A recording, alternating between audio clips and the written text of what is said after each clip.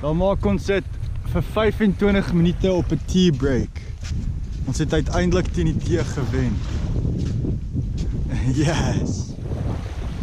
Hoe dink hy dalk sy kamera vergeet by die teesplakkie. So ons het dit amper gemaak.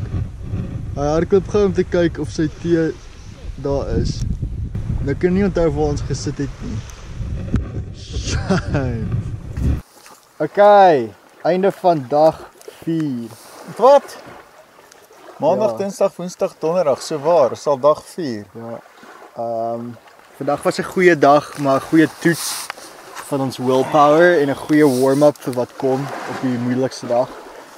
Ehm um, so ons het ons het uh, probeer om vroeg te begin en ons was on track.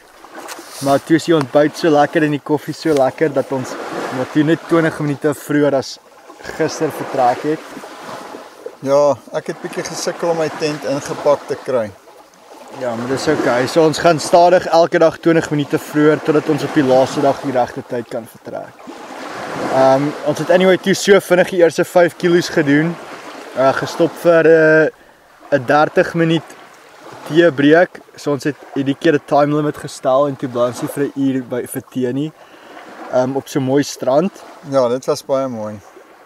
Maar dan net daarna toe kry ons 'n mooier plek. Ja, elke keer as ons ergens stop, dan kry ons 'n mooier plek Ons klaar tee reg. gedrink het, toe stap ons net oor 'n bult. Soos, "Wow, hier moes ons nou eintlik tee gedrink het." Maar toe toe, het ons dit anyway afgeneem. So dit was baie mooi. Ja, dit was sulke mooi turquoise poele wat ons nou anyway een het. So dit ons ons eie private een. Ehm um, so toe drink ons ons tee, toe stap ons nog uh 2 kilos verby Wazo Hulle soos 'n beskermde thistle ding het. Uh wat jy nie op mag trap nie en daar's so 'n klomp sand waar ons deur gestap het binne land.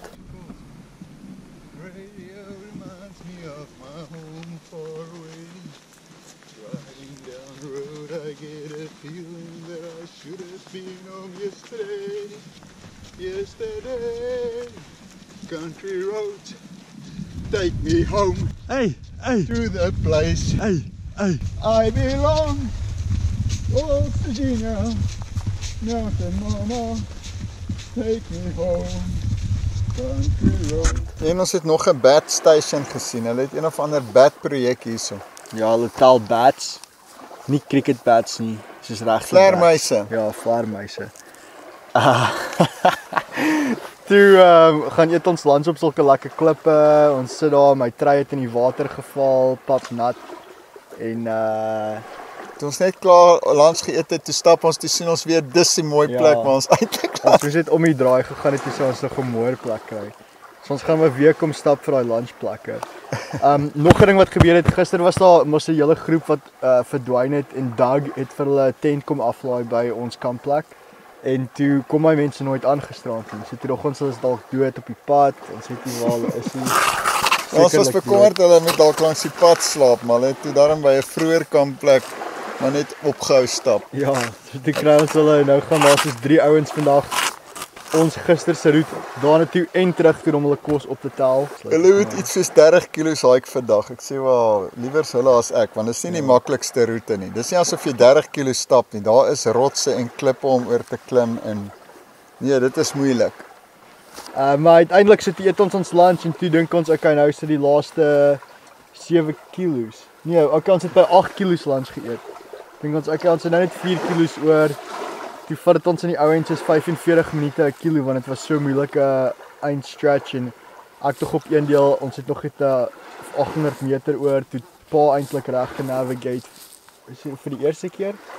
Sekerlik. vir die Nee, ek's net nee, nee, ek's net nee, sour want ek was verkeerd.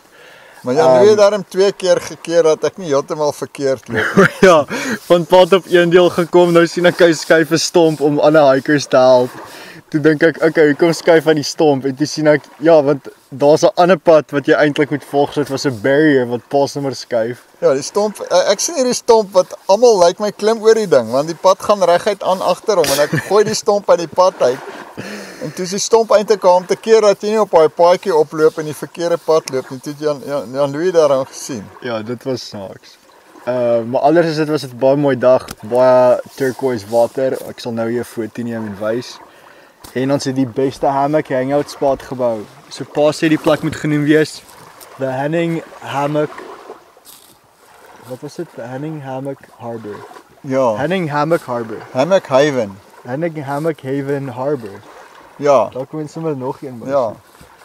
Ja, die Haven.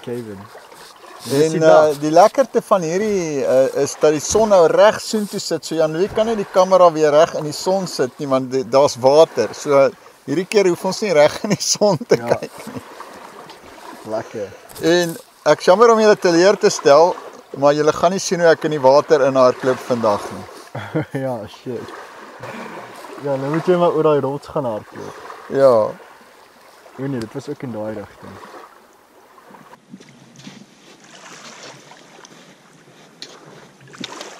Wat's dit?